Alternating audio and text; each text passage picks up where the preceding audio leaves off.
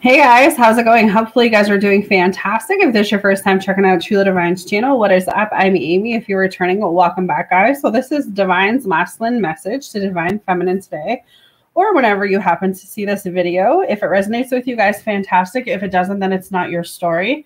So take what does resonate, leave the rest behind. Please smash that like button, subscribe to the channel, hit that notification bell if you haven't. All right. I'm just going to turn my phone off.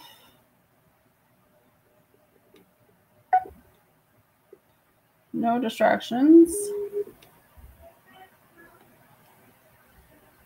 All right. So, like I said, this divine masculine's message to divine feminine. So, the first card coming through for you guys says, Never needed anyone the way I needed you. I feel more and more as time passes with you guys, as more as more, you know, as more as more, if I could even speak today, as let me let me just back up for a minute. They're coming in with a bunch of different messages, and I want to make sure I get this right for you guys. This divine masculine, whoever this divine masculine is, the collective masculine message is that it's been through a lot of reflection, a lot of hermit mode, a lot of being by themselves, being away from you, registering where they are in their life, registering what they truly want out of life. It's this, you know, energetic feeling like you have always been something important to them. You have always been something that they wished for and they prayed about. This divine masculine is coming through with a message of they have never needed anyone in their life the way that they need and feel for you. For some of you, this divine masculine is saying, regardless of what's going on in my circumstance, regardless of where I am, regardless of what I'm doing, I need you to know that you were the only one who ever mattered. And it's like that time apart, that silent treatment, that ghosting, the non communication, feels like every little bit of moments that they have away from you it's it, it's bringing so much more clarity towards them i'm feeling like the why it's so hard to get this message out is because the divine masculines are in this place of wanting to speak to you, wanting to get something off their chest, wanting to talk to you, wanting to deliver this message, but I feel choked up. Right? I don't feel like I don't know last time that I felt like I couldn't get a message across. And I'm getting that type of feeling with this divine masculine where it's like I want to get my point across. I want to tell them how I feel. I want to tell divine feminine how I feel. I want to express that I have all this love and admiration and you know I I don't I don't know how to open myself up and be vulnerable in that way. I don't know how to share what I need to. I don't know how to express, you know. For some of you, your divine masculine has never experienced a love like this. They have never experienced this much intensity, this much, but it's like they know when they're not with you that they need to be with you. They know that not only is their body craving you and not just for sexual purposes, but it's like when they're around you, it, it just feels it feels good. It feels like that's where they're supposed to be. And it's just this feeling of this divine ma- masculine recognizing it so much more now than ever. For some of you, your divine masculine is feeling very blocked from you, whether you actually went and blocked him or whether he's just feeling like there's a blockage going on here with you guys. What else does divine masculine want divine feminine to know? he or she didn't mean anything. For some of you, there could have been a third party interference going on. There could have been, you know, a karmic situation or some type of situation where, you know, this person was entertaining someone else or engaging with someone else. And, you know, at the end of the day, that person didn't mean anything to this divine masculine. You know, it was just, I, I feel a way to escape what he was truly feeling about you. Yeah, gossip and hearsay. There's a lot of gossip and hearsay around this connection with this person. I felt like that could have been a major a major thing that happened. Maybe there was too many interferences with, you know, people just talking shit, people saying shit, people saying shit about y'all's relationship or connection. Take that however it resonates, but maybe they're all maybe the divine masculine is hearing some gossip or hearsay about you. What else did this divine masculine want to say to divine feminine? He feels very lonely without you. Yeah. His life is not making sense right now. Again, it's like being around you, your light, your vibe, your aura, your energy, just who you are, who you're trying to be is like he sees you as being someone who's so strong and someone who's so strong-willed. And like no matter what happens to you no matter what gets thrown at you it's this feeling of she never she never falls down. She never lets her guard down. So it's like this lonely feeling it's like he kind of wants to come in and swoop over and be like a protective barrier for you like for some reason i'm getting that feeling of divine masculine wanting to come in and kind of console the divine feminine protect the divine feminine, provide for the divine feminine because he knows that she needs that. He knows that she's deserving of that. And it's like he is being called to do that. He's being called to come in and, and protect her and provide for her. But he's feeling lonely without you because, like I said, there's a lot on this divine masculine's mind right now.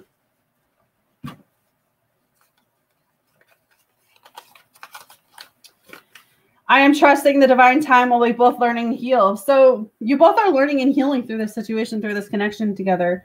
But it's definitely a divine timing situation where it's not going to happen when the where it's not going to happen when you want it to happen. It's going to happen when the universe wants it to happen. So I feel like whether you're in contact with this person or not, it, it's literally in the universe's hand. It's in God's hands. I will be reaching out to you the next 24 hours. Some of you, this divine masculine is going to be reaching out to you in the next 24 hours because he wants to talk. He wants to express himself towards you. He wants you to know what he's thinking and feeling because, like I said, he's feeling very lonely right now. He's feeling like he's blocked from your life. He's blocked, you know, he can't see access to you or he doesn't know what's going on in your life. He doesn't know who you're with, he doesn't know who you're entertaining. You know, he's starting to realize, you know, truly what this connection means to him but he also knows it's a divine timing situation too. So I feel like for some of you, this divine masculine may have not really believed in spirituality or didn't really understand spirituality, but maybe like because of coming into contact with you, engaging with you, it's like he's able to see that you were something that was sent to him by by God.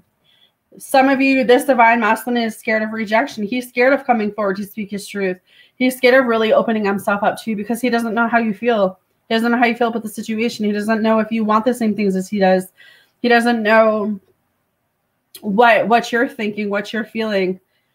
Will you leave me like the others? For some of you, this divine masculine has abandonment issues. He's afraid to get attached because he feels like every time he gets attached, they leave or they give up on him. Right now, there could be something going on with you and the fact that you're triggering him. He feels triggered by you. What else is going on with this divine masculine? Please clear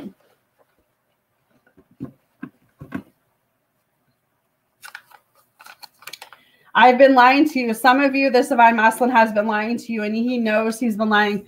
Could be that he was entertaining someone else at the time of being in connection with you, and he knows he should have been honest with you about that. And so he's coming forward to let you know that I have lied to you. Something I've never told you. For some of you, this divine masculine wants to come forward and speak the truth towards you. He knows that that's what he needs to do if he wants to move things forward with you. I don't want to lose you. My life makes no sense without you next to me. Yeah, for some of you, your divine masculine's like, I know I need to to come forward to speak the truth, to share what I need to, to tell this divine masculine what she what she knows already. Take that however you resonate, but that's the kind of feeling I'm getting. Like they know. What else does this divine masculine want divine feminine to know, please? That he wants to do date nights and flowers with you. He wants to be romantic with you. He wants to take you out on the town. He wants to surprise you. He he wants to to show you what it is that he wants to show you. He wants to spoil you. He wants to treat you like the goddess and the queen that he knows that you are. My stupidity, I treated you poorly. Please forgive me. For some of you, your divine masculines coming in and literally saying, like, I know I never treated you the right way. I know that I never, you know, was the man that you needed me to be, but I want to come back and I want to make this right with you. I want you to forgive me. Oh, because I love you. For some of you, this divine masculine may have never said those words to you. But this this divine masculine that I'm picking up, it's like the feeling of like wanting to tell you they love you, have fallen in love with you, could see themselves falling in love with you, or they generally do really do love you. Mark my words, this is not over. I'm coming back. This divine masculine's coming back to make it right. Whoever needs to hear this, he's coming back to make it right. He wants to make this right with you. What else can I tell the collect, or what else can I tell? He for some of you, this divine masculine's looking at you like, I don't understand why I deserve a goddess and queen like her. Uh, everything that I've done in my life, everything that I've been through, everything that, you know, past relationships and past connections and family issues and friends issues, like, I don't understand how I was able to receive such a, a beautiful blessing. You know, he he looks at you like you're the most amazing thing he's ever laid his eyes on, and he does not feel deserving of you all or at all, divine feminine. But without you, it's dark. And that's where the lonely feeling coming in is because you have this light about you, you have this energy about you. And I feel like being around you, it charges him up. It makes him feel like, you know, he he, he just loves being around you. He loves being around you and maybe he's kind of questioning that like i've never had this type of intensity like i said to you guys earlier i've never had this type of type of um, this love is crazy it's so funny because this divine masculine you know he's looking at the situation and shaking his head like man this woman is crazy like but i'm fucking madly in love with her like she she is way out of the ballpark but i could see myself spending my life with her i could see myself getting down on one knee and making her my wife like even though this love is crazy, like I'm crazy about this woman. Like I see this woman everywhere I go. I see this woman in other people. Um, and I actually just had this happen to me yesterday. So I can see where the divine masculine's coming from. All right, let's get a closing statement. I feel empty without you. I'm changing and learning some hard lessons. So right now, this person is changing and learning some hard lessons you know, they are changing for the better. They are going through spiritual shifts. They are going through spiritual awakening. They are doing what they need to do in order to be the divine masculine you need them to be. I'm sorry I put everything above you. This divine masculine is sorry for putting everything above you because he knows you never deserve that. He knows you deserve so much more.